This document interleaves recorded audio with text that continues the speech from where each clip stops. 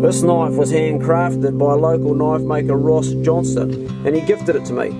A knife that I really liked and I took out fishing quite a few times in my homemade punt, this boat here.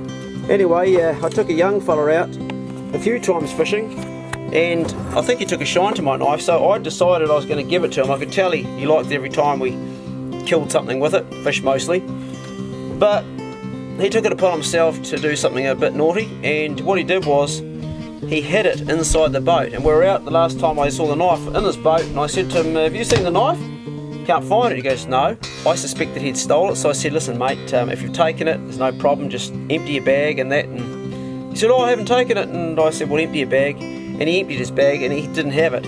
But what he had done is he had hidden the, the knife up under the front forecastle just up under here. You probably can't see in the dark but he put it in there and tucked it inside there where it sits and it sat there for a year and I never knew it was there and from then on when I took him out fishing he was always a bit strange and I didn't know what happened until I was cleaning the boat out a while ago and I found it and I put the story together in my head. At least that's what I think happened, it's the most likely case scenario. He'd intended to take it when I wasn't watching and take it home. Probably a bad choice in his part but anyway. I've got the knife and as you can see it's rusted over, it's pretty well stuffed it's a knife I really like so I'm going to head over to my mate David's place because he's got my dad's vice because I don't have a vice here and I'm going to do a restoration on it. And I might make it look a bit different change it a bit because uh, it lends itself to that. We'll see how we get on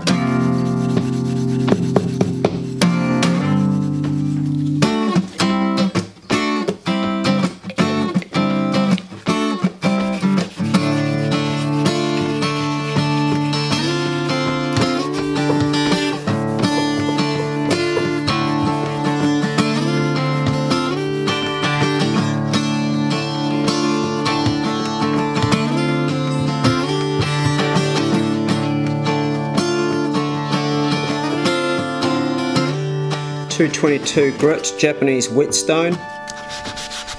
Plenty of water. It's quite a coarse one to start on, but it'll help get the edge on this blade. Gonna start off just doing strokes.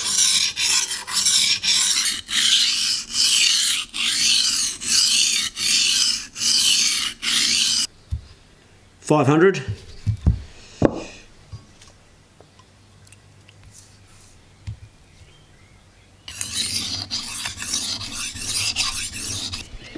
Back on the farm I gave the blade the 220 Japanese whetstone and then the 500 making it nice and sharp, the old paper test.